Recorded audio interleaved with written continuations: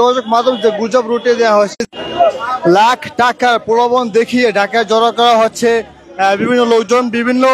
জেলা থেকে তাদেরকে কিন্তু এখানে জড়ো করা হয়েছে এবং তারা বলছে আসলে তারা তাদেরকে হাজার টাকার বিনিময়ে আজকে তাদেরকে ঢাকায় নিয়ে আসা হচ্ছে। তাদেরকে ঢাকা নিয়ে আসা হচ্ছে এবং গতকাল রাত থেকে কিন্তু শহরে একটি অস্থিতিশীল পরিবেশ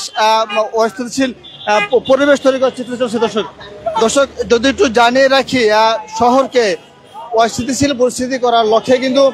গতকাল রাত থেকে লাখ টাকার প্রলোভন দেখিয়ে কিন্তু শহরের নোয়াখালী চাঁপানবাবগঞ্জ সিলেট বিভিন্ন জেলা থেকে তাদেরকে গায়ে খাটা মানুষজন লোক শ্রমিকদের, দৈনন্দিন যারা কাজ করে খায়, তাদেরকে কিন্তু ঢাকাতে জড়ো করা হচ্ছে এবং তাদেরকে বলা হচ্ছে যে, সরকার আপনাদেরকে বিনা শর্তে লোন দিবে এবং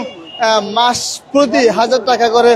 সেই কিস্তি পরিশোধ করবে। দর্শক এই প্রলোভন দেখিয়ে গতকাল রাত থেকে রাত দশটা থেকে কিন্তু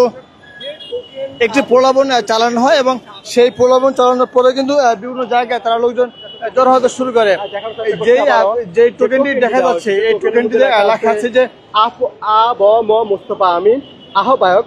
অহিংস গণঅভ্যুত্থান বাংলাদেশ এমন একটি সংগঠনের আহ্বায়ক আ ব ম মোস্তফা আমিন নামে একজন লোক তাদেরকে আসলে এখানে যেই টোকেনটি দেখা যাচ্ছে, এই টোকেনের মাধ্যমে মূলত তাদের- তাদেরকে যেই জানান দেওয়া হয়েছিল, এই টোকেন দেখার, এই টোকেন দেখালে বর্তমান যে তত্ত্বাবধায়ক সরকার, এই সরকার তাদেরকে এক লাখ টাকা লোন দেবে, এমনটি বলা হয়েছিল। আমরা টোকেনটি পড়ার চেষ্টা করি এখানে লেখা আছে যে কৃষক, শ্রমিক, হকার, বেকার তথা সকল জনগণ থেকে ভ্যাট, ট্যাক্স হিসেবে আদায় করা লক্ষ কোটি টাকা ক্ষমতাচ্ছেদ একটি হায়নার দল স্বাধীনতা পর থেকে লুটপাট করছে। লুণ্ঠিত অর্থ উদ্ধার করব বিনা সুদে, পুঁজি নেব। অবৈধ অর্থ উদ্ধার এবং গণমুখী বিনিয়োগ জাতি, জাতীয় সংস্থার শিরোনামে দুর্নীতি বিরোধী বিশেষ আইন প্রণয়ন দাবিতে পঁচিশ নভেম্বর অর্থাৎ আজ পঁচিশ নভেম্বর দু হাজার চব্বিশ সোমবার সকাল দশটা থেকেই শাহবাগ মোড়ে তাদের অবস্থান কর্মসূচি পালন করার কথা থাকে এবং সেই সকাল থেকে কিন্তু এখানে আমার গণমাধ্যম কর্মী যারা রয়েছে, তারা কিন্তু এখানে রয়েছেন এবং বিভিন্ন গাড়ি, যেসব অবাঞ্ছিত মানে অনাকাঙ্ক্ষিত যেসব গাড়িগুলো আমাদের চোখে পড়েছে সন্দেহভাজন যেসব গাড়িগুলো চোখে পড়েছে, সেই সব গাড়িগুলোকে জিজ্ঞেস করলে তারা সদুত্তর দিতে পারে। তারা সেই বাংলাদেশের বিভিন্ন প্রান্ত থেকে তারা এসেছেন এবং গতকাল রাতে রাতে তাদেরকে বলা হয় এবং এই লোনের বিষয়ে তাদেরকে গতকাল রাতে তাদেরকে এই গতকাল রাত থেকে তাদেরকে এই লোনের বিষয়ে অবহিত করা হয় এবং এই লোনের বিষয়ে অবহিত করার পর থেকে গতকাল রাত থেকেই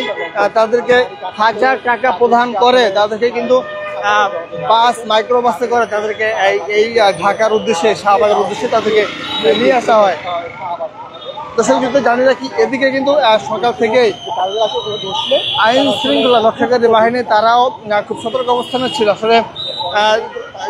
দেশকে গত পাঁচ আগস্ট সরেসারি সরকার, শেখ হাসিনা সরকার পতনের পরে যাতে করে কেউ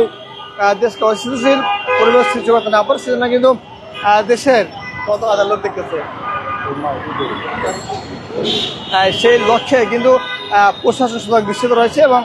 গতকাল রাত থেকে যে একই সমস্যা পরিবেশ সৃষ্টি করার চেষ্টা, সেটি কিন্তু দেখা যাচ্ছে দর্শক